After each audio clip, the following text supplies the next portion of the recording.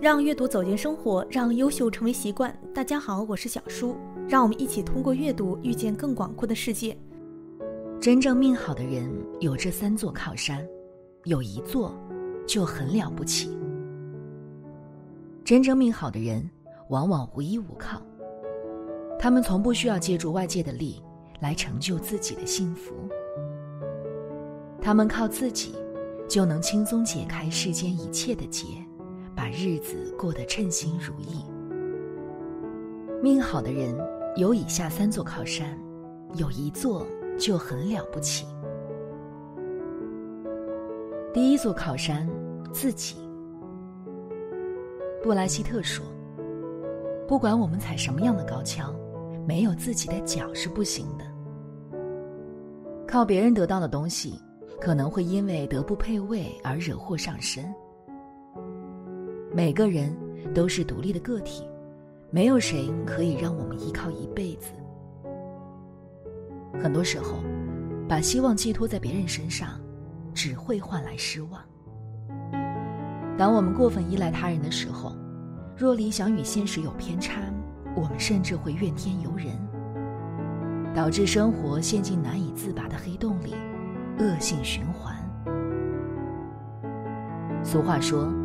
求人不如求己，求人就得听人啰嗦，靠人就得低声下气。靠别人只会战战兢兢，靠自己才能踏实安心。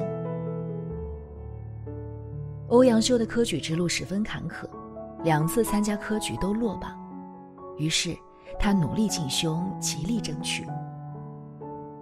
后来在礼部省试中获得第一，成为省员。人只有靠自己，才有无限的可能。别人给我们的可能只是一盏灯，我们只有做自己的太阳，才能照亮人生更远的地方。第二座靠山，人品。财富不是人的靠山，因为总会花完。地位不是人的靠山，终会脱袍退位。人品，才是一个人最强硬的靠山，可以永垂不朽，永不磨灭。老子曰：“人无信不立，业无信不兴，国无信则衰。”一个人的人品，足以决定一个人的高度。人品是一个人的名片。代表了人的形象与修养。人品好的人，圈子大，道路宽，深得人心，一辈子都是顺坦的。正所谓物以类聚，人以群分。人品好的人，自然高朋满座，哪怕身处逆境之中，也不乏雪中送炭之人。人品差的人，身边只有狐朋狗友。就算左右逢源，也会有人想方设法将他拉进万丈深渊。没品的人，就是行尸走肉，无人敢信，无人与之交心。人活一世，什么都可以没有，唯独人品不可丢弃。问心无愧做人，一生心安理得。第三座靠山，积极的心态。心若向阳，则无惧悲伤。积极的心态，足以让人驱散心中阴霾，让人对生活始终充满热情与希望。拥有积极的心态，能让我们变得乐观向上，把生命中的伤痛转化成幸福与快乐。